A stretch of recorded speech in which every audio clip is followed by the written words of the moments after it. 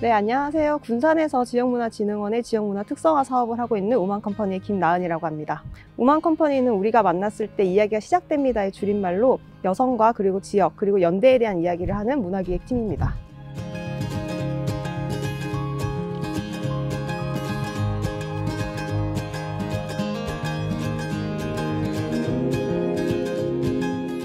군산은 성매매 특별방지법이 제정되게 된 배경이 되는 사건인 개복동, 대명동 성매매업소 화재 참사가 일어났던 곳입니다. 많은 분들이 아실 수도 있고 모르실 수도 있지만 그래서 매해 여성단체들이 이곳을 순례길을 걷기 위해서 오고 계시는데요. 그러다 보니까 자연스럽게 여성과 관련된 이야기를 하는 것이 저는 이 지역에서 좋다라고 생각을 했고 무엇보다 많은 분들께서 단순히 이것을 기억하는 것뿐만 아니라 여성분들이 와서 즐겁게 이야기를 하고 여성에 관한 이야기를 하는 장이 될 수 있으면 좋겠다는 생각으로 이곳에서 사업을 하게 되었습니다.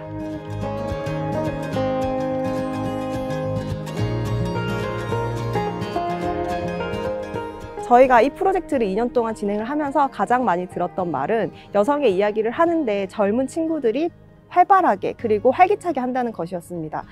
사실 여성의 이야기를 하고 여성 단체분들께서 순례길을 걸으실 때 다소 무겁다라고 느끼시는 분들이 계시는데요. 그분들은 단체로서의 그 일을 하시고 저희는 조금 더 지역 주민들과 함께 그들이 여성의 이야기를 무겁지 않게 조금 더 일상성 있게 받아들일 수 있도록 사업을 풀어내고 있습니다.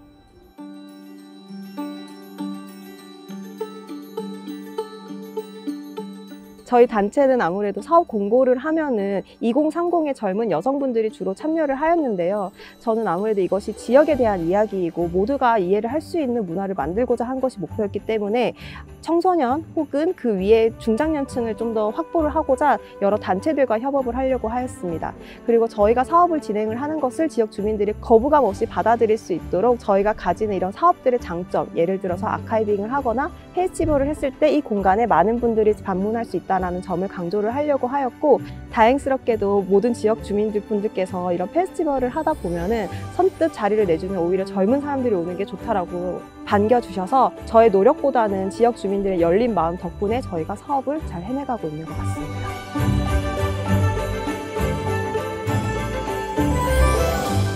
저희가 사업을 하고 있는 지역은 군산의 월명동입니다. 저는 월명동이 가지고 있는 관광지로서의 활발함과 함께 역사를 담고 있는 낡은 듯하지만 고즈넉한 그런 풍경들 그리고 무엇보다 월명산이 가지고 있는 푸릇푸릇함을 굉장히 사랑하고요. 저희 Piece of 월명의 사진들을 보시면 아시겠지만 그 건물들이 가지고 있는 굉장히 낮고 고른 그런 풍경들을 좋아합니다.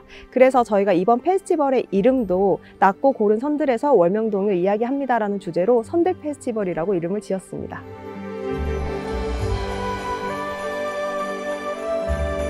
올해는 그 발견했던 것을 기반으로 하여서 조금은 이 지역 자체만의 브랜드를 가지고 가는 것이 어떨까라는 고민을 하였는데요. 그래서 많은 고민 끝에 이 지역 낮고 고른 특유의 선을 이용해서 선들이라는 이름을 만들었고 선들 페스티벌을 진행을 하면서 향후에는 결과집도 선들의 이름이 들어간 것을 만들 계획입니다. 제가 이 사업을 2년 동안 진행을 하면서 가장 느꼈던 것은 이 지역 주민들이 이런 이야기에 목말라 있다는 것입니다.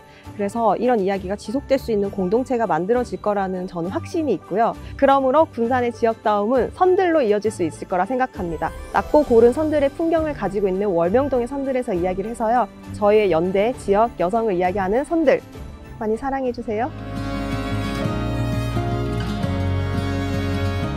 저는 아무래도 1인 단체다 보니까 기획을 하고 결정을 할 때 늘 혼자 일을 했었는데요. 이 사업들을 하면서 지역 주민들과 만나고 함께 이야기를 하면서 제가 보지 못한 것을 발견했다는 기쁨이 가장 컸습니다.